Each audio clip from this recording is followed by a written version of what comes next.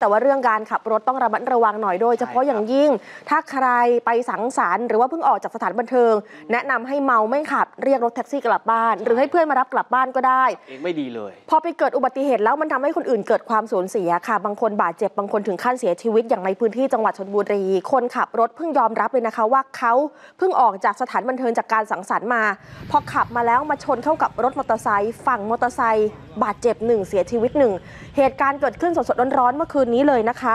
ในพื้นที่จังหวัดชนบุรี ทางเข้าสัตหีบ ช่วงตำบลหนองปรืออำเภอบางละมุง กู้ภัยไปตรวจสอบดูเจอร่างผู้เสียชีวิตเป็นผู้หญิงอายุประมาณ 20 ปีค่ะ นอกจากนี้มีสาวทอมบาดเจ็บเจ้าหน้าที่ก็รีบพาส่งโรงพยาบาล ห่างไปเล็กน้อย เจอรถกระบะอีซูซุซึ่งหน้ากระบะอีซูซุมีรถจักรยานยนต์ Zoomer X สีดำเหมือนถูกลากมาอัดติดอยู่ใต้ฝากระโปรงรถส่วนคนขับรถกระบะคันก่อเหตุเป็นผู้ชายค่ะ ลงมาจากรถ อยู่ในสภาพมึนงงกับเหตุการณ์ที่เกิดขึ้น ยังมีกลิ่นสุราออกมาจากตัวอยู่เลย ยอมรับนะคะว่าเพิ่งไปสังสรรค์กับเพื่อน ที่สถานบันเทิงแถวแถวพัทยาใต้กำลังจะขับรถกลับบ้าน พอมาถึงช่วงแยกไฟแดงเขาตาโล มีมอเตอร์ไซค์ของผู้เสียชีวิต ขับออกมาจากไหนก็ไม่รู้ รู้อีกทีคือชนแล้วแล้วลากมอเตอร์ไซค์มาตามถนนประมาณ 50 เมตร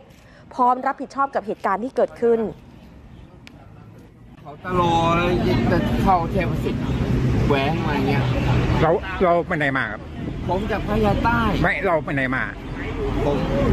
กินงานวันเกิดเพื่อน เมาไหมเออเมาใช่ไม่ไม่ก็นิดนึงอะ แต่ทางตรงอะแล้วก็เข้าใจไหมมันก็มันก็ไม่ใช่อะเข้าใจไหมอืมยอมรับกับนักข่าวนะว่า ก็ดื่มมานิดนึงอะ แต่นิดนึงที่ว่านี่ผู้หญิงตายไปคนนึงนะคะไปไหนมาอีกคนนึงได้รับบาดเจ็บ ส่วนคนเห็นเหตุการณ์เป็นพนักงานกวาดขยะของเทศบาลพัทยาค่ะคุณจารุวรรณบอกว่า ตอนนั้นก็กวาดถนนอยู่ได้ยินเสียงดังมาก หันไปเห็นอีกทีนึงคือกระบะลากรถมอเตอร์ไซค์ไปตามถนนประมาณ 50 เมตร ก็เลยรีบแจ้งฝ่ายที่เกี่ยวข้องเข้ามาดู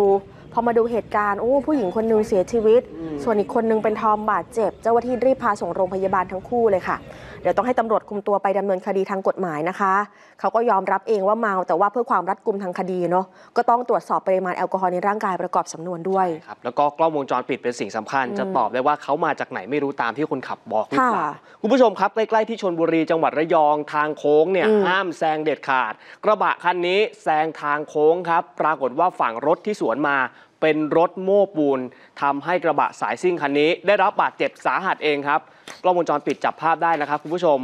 มีรถเก๋งเนี่ยอยู่ด้านหน้า แล้วกระบะแซงขึ้นมาด้านขวาครับโอ้โหนี่ชนกับโอ้รโหถโม้ปูนพอดีนะครับมันเป็นมุมโค้งพอดีมุมใช่อับแล้วนะเป็นมุมอับสายตามองไม่เห็นรถโม้ปูนก็มาตามปกติ แต่ว่าถูกกระบะคันนี้ที่แซงขวาขึ้นมาเนี่ยชน เหตุการณ์เกิดขึ้นในซอยมับยางพร 18 นะครับที่โค้งแฟงฟาง เจ้าหน้าที่ก็เลยไปตรวจสอบคนที่บาดเจ็บคือนายวิรัต เป็นคนขับรถกระบะได้รับบาดเจ็บสาหัส นอนแน่นิ่งอยู่ที่เบาะคนขับ กู้ภัยก็เลยช่วยปฐมพยาบาลออกมานะครับ ส่งโรงพยาบาลปลวกแดงรักษาตัว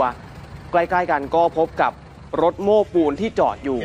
นายสมเด็จใจสะอาด 50 ปี เป็นคนขับ บอกว่าขับมาจากแพลนปูนพอขับมาถึงตรงนี้ กระบะแซงมาก็เลยมาชนกับตัวเองจนเกิดเหตุการณ์นี้ขึ้นครับ ผมก็มาประมาณ ผมมาเกียร์สี่ประมาณสักสี่สิบห้าสิบไม่ถึงห้าสิบด้วยกันมันเป็นโค้งก็เข้ามาฝั่งเนี้ยมาเร็วจะทำให้เกิดเหตุใช่ไหมพี่เขาจะแซงรถคันหนึ่งเพราะว่ารถคันหนึงอยู่ตรงโค้งนี่ครับผลของการแซงทางโค้งเออนี่ทำให้ตัวเองเนี่ยได้รับบาดเจ็บค่ะแล้วรถของคนอื่นก็เสียหายด้วยเป็นไปได้อย่าแซงนะครับ